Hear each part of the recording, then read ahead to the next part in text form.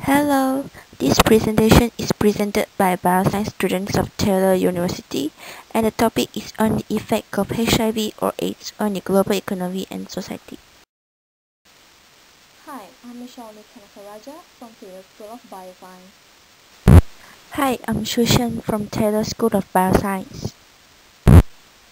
First, let us introduce to you what is HIV.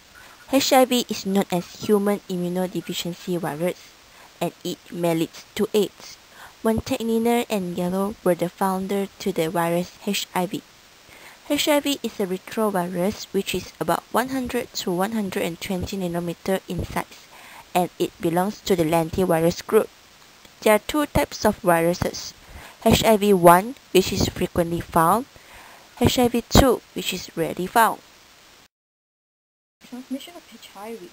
How is HIV being transmitted so widely across this world? What are the ways that lead someone to be infected with HIV? This transmission can be caused by the most common factor, which is by having unprotected sexual intercourse and sharing of needles. Unprotected sexual intercourse includes the homosexual and heterosexual couple who might have many sexual partners.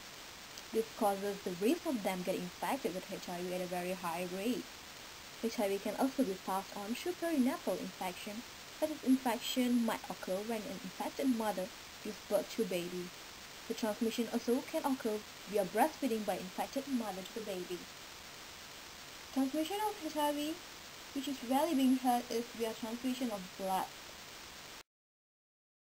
This picture shows the overview of how the HIV virus infects a healthy person that leads to AIDS. The virus enters the healthy person and it infects the CD4 plus helper T lymphocyte, and it replicates to produce more infected cells via budding. The infected cell then enters the immune system and causes the immune system to break down. This leads the cell not to be able to carry out their function well, which is to fight against the disease. At the end, the virus will take over the immune system and causes the person to be more prone towards the viruses infections, and other diseases due to the low immune level.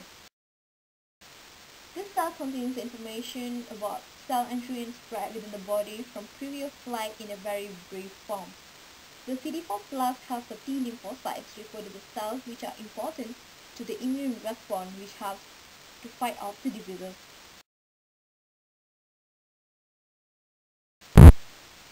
How do we know if we get infected by HIV virus? Here are the common symptoms. You may easily feel tired. You may experience rapid weight loss. You may have a frequent fever and sweat. Lymph node enlargement also one of these symptoms. You may also have a yeast infection in the mouth and tongue. Besides, you may also have persistent skin rashes or flaky skin. If you have these symptoms, you may get infected by HIV virus, which may lead to AIDS. So, let us go through some symptoms of AIDS. If you have an AIDS, you may easily develop into various cancer. You may experience vision loss, severe headache, neck stiffness, and etc. Presence of HIV AIDS causes many effects in various fields such as economy and social. According to the United Nations Department of Economic and Social Affairs and Population Division, HIV affects the economy of the country in various ways, which can be categorized into four different channels that is production channel, allocation channel, distribution channel, and regeneration channel. First, let us look at the production channel. Production channel refers to how it affects demand productions, which is by lowering the percentage of labors, which leads to the drop in the performance level of the workers and causes the fluctuations in the economy. Next is the allocation channel.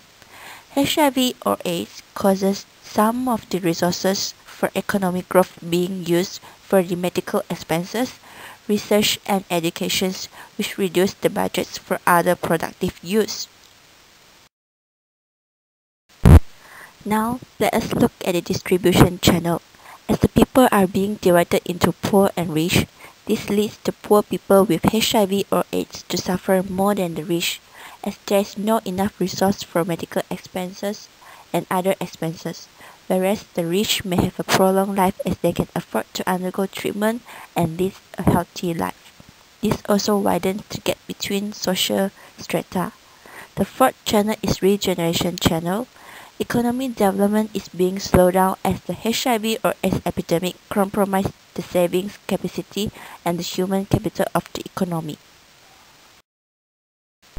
This table shows the federal funding for HIV or AIDS by category from year 2010 to year 2016, which still in request. From the table, we can see that most of the funds spent on domestic and care for the HIV or AIDS patients. One of the effects of HIV under the social category is the discrimination of HIV positive people. People who are HIV positive are always being ignored and neglected by the public and less likely to be accepted among them. This is because the public are afraid that they might be infected with the virus itself. The second one is the violation of human rights. Most of the HIV positive people are not able to secure a job as their performance tends to drop as their illness gets worse. Family is one of the effects of HIV under the social category. The number of orphans are increasing day by day, especially in the third world countries. This is because the loss of one or both parents can cause trauma or burden as the child might need to be the sole breadwinner for the family at a very young age. Loss of parents also causes the future of a child to be questionable.